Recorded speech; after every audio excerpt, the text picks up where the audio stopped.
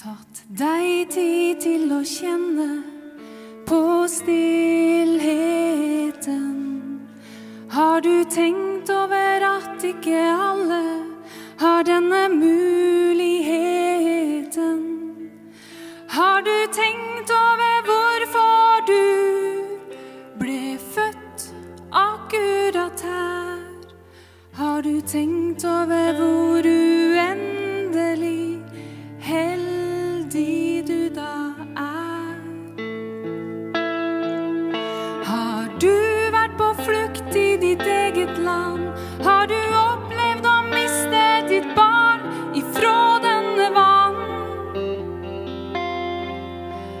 Har du sett dine foreldre bli slaktet ned? Har du opplevd krig og aldri betydningen av ordet fred?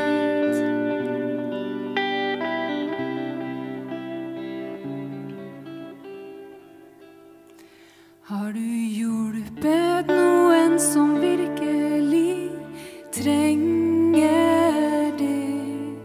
Eller er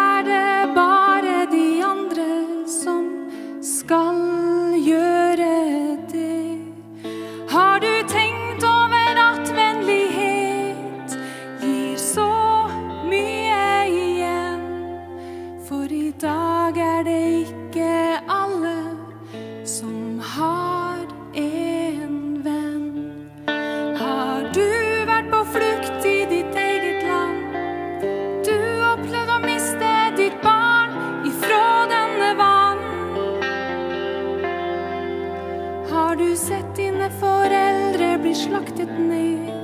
Har du opplevd krig og aldri betydningen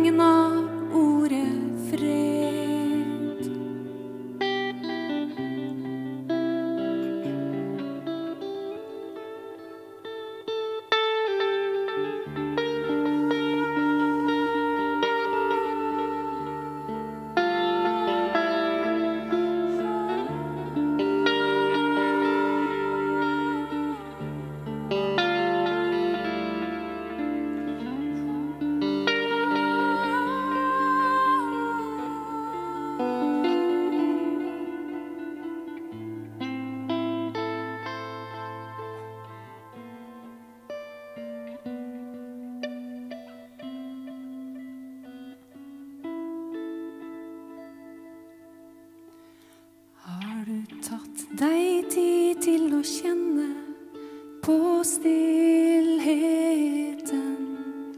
Har du tenkt over at ikke alle har denne muligheten?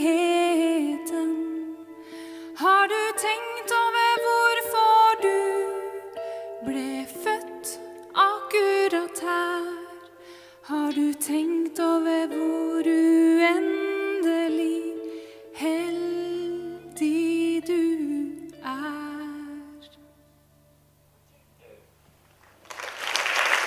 necesita.